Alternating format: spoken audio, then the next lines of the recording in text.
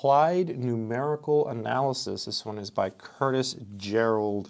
This is the second edition, and I thought I would just make this quick video to show you this book. So second edition, Applied Numerical Analysis. Numerical analysis is typically a course that uh, sometimes math majors take. Uh, it's typically an elective course, so it's not something that everyone studies. Second printing, May 1980. So here's some stuff here. Sometimes there's other courses like numerical calculus that cover similar topics. Solutions of nonlinear equations. Solution sets of equations. And then we have some more, more topics here.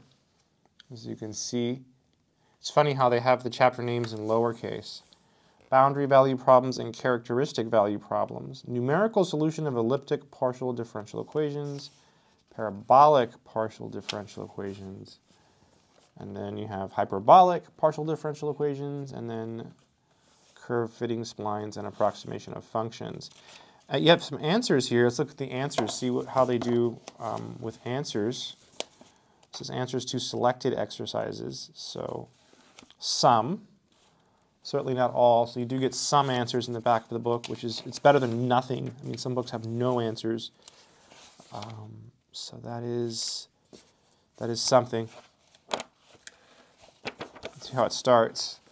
The ladder in the mind. It is not uncommon in applied mathematics to, ha to have to solve a nonlinear equation. If you work for a mining company, the following might be a typical problem. Oh, interesting. Right away, they start with a problem. The ladder in the mine and they go through and they and they solve it. Method of having the interval. Bisection method. Method of linear interpolation.